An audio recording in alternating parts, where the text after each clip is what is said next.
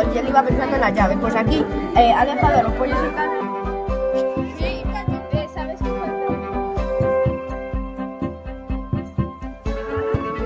Esto es una familia que lleva y que está llevando a su niña al instituto mientras que a unos pajaritos. Pero de repente aparece una super rana rusa robótica que se destruye el coche y se la carga. Luego va- se dirige hacia el instituto y lo mata. Y así siguió y destruyó al final toda la ciudad. Y cuando iba a Rusia a ser bienvenida, Putin le traicionó pegándole un cohetazo con un bazooka y murió. Y la mujer de Putin felicita a Putin. Y esto básicamente es nuestra historia.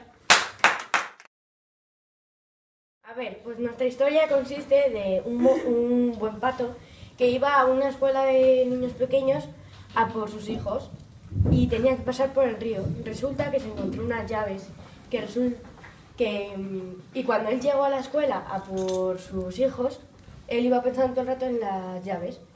Pero cuando llegó a su casa ya le puso cara al hombre que perdió las llaves y se le encontró. ¿Qué pasa? Que cuando estaba con el hombre, el hombre se creía que lo había robado, las llaves, porque no sabía ni si se le habían caído o algo. Y le acabó ahorcando con lo primero que encontró, un trípode. Em, y en la siguiente damos un adelanto de que van a hacer una venganza. Quedaron cuatro chicas en un parque, ¿no? Una estaba con el móvil y vio a las demás y se chocó en la farola. Luego,